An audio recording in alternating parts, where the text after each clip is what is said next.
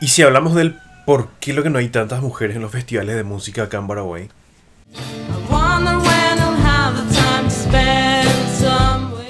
Buenas, me presento, soy Vidal Delgado y me parece que es justo y necesario hablar un rato de este hecho en particular que se da no solo en Paraguay, sino en gran parte del mundo.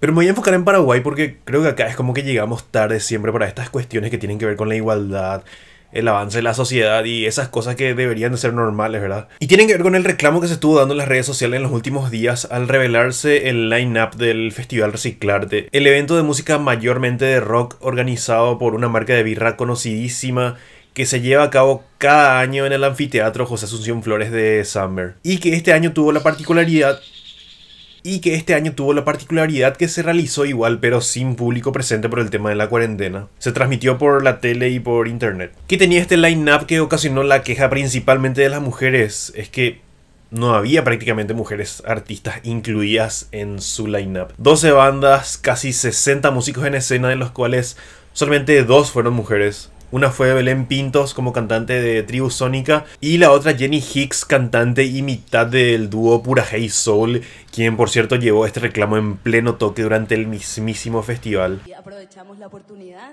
para, para pedir más mujeres en los escenarios. El resto, puro huevo. Este reclamo no es nuevo, ya se estuvo haciendo sentir la voz de las chicas en los últimos festivales de música multitudinarios que se estuvieron haciendo por acá y que siempre la presencia femenina en los carteles es bajísima o nula directamente. Pero ahora la protesta es mucho más grande porque, bueno, parece que la cosa sigue igual y cada vez más las chicas están hartas y se callan menos para reclamar por más espacios. Acá lo que quiero hacer es más que nada, obviamente, dejar mi opinión sobre todo este asunto y tratar de responder la pregunta que le da título a este video a ver si lo logro, ¿verdad? Por un lado están los detractores de este reclamo. Algunos dicen que es cualquiera esto de pedir cupos por géneros en los festivales. Que todos los artistas, sin importar el género que tengan, tienen que ganarse ese lugar. Y tienen ni razón con eso. Pero creo que las chicas no quieren luego que se les regale nada tampoco. El reclamo de ellas es más bien un... Che, nosotras ni existimos también.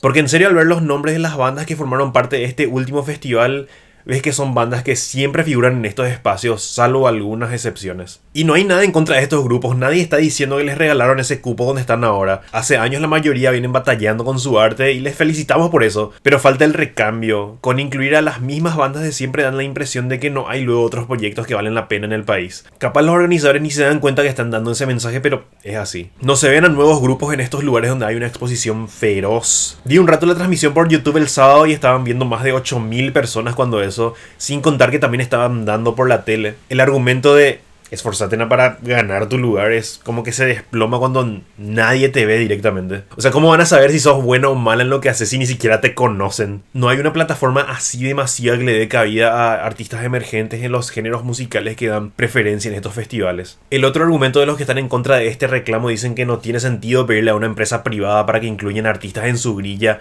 O sea, ellos ni están pagando el espacio de su plata. No es el Estado con nuestros impuestos que están haciendo estos eventos. O sea, también técnicamente tienen razón al decir esto, pero ¿No les parece un, poco injusto? Pónganse más a pensar la cantidad de propuestas geniales que cada vez surgen más y más en la escena under local. La mayoría de estas lastimosamente nunca van a pasar al siguiente nivel de reconocimiento y aceptación porque no son tomados en cuenta para estos eventos mainstream. Y coincidentemente o no, proyectos que son liderados por mujeres o que tienen mayoría de integrantes mujeres parece que la tienen más difícil todavía. Creo así cruda y sinceramente que los organizadores y las marcas que ponen la plata para que estos festivales ocurran les chupa un huevo este reclamo de disparidad. Ellos seguían por los números, por lo que ya saben que funciona y lo que más convoca. Saben que estos grupos que eligieron para su lineup cumplen con todo eso.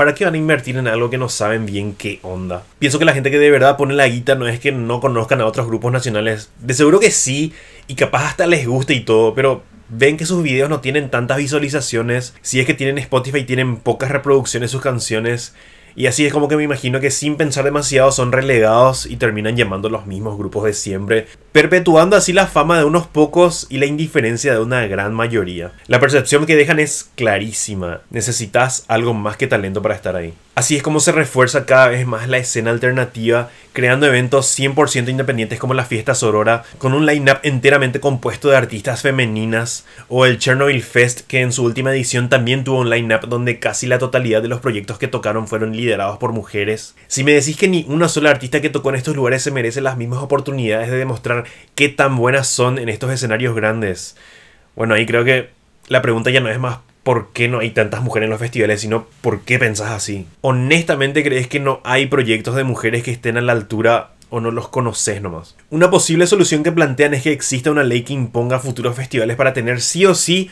un X porcentaje de artistas femeninas en sus carteleras. Algo que me parece que podría ser un comienzo, aunque lo ideal la verdad es que exista un verdadero interés por las artistas y por lo que hacen. Que se den cuenta las marcas de lo importantes que pueden llegar a ser para impulsar la carrera de alguien que se está rompiendo por su arte. Que se den cuenta que ellas mismas son la plataforma para ampliar la cancha y para crear nuevos y nuevas referentes en la escena.